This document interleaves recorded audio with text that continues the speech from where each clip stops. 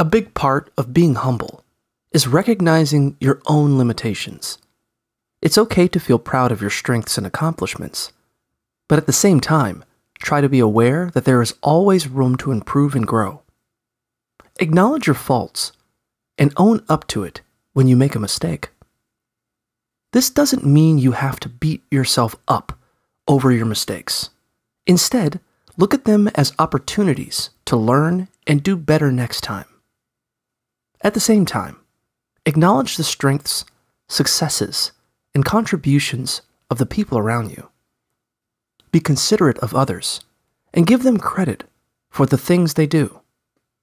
When you accomplish something, take time to recognize anyone else who helped you achieve success. Be willing to seek help and advice from others, even if you don't necessarily agree with what they have to say. Keep an open mind and let them know that you appreciate their perspective. You never know what you might learn from other people if you're willing to listen.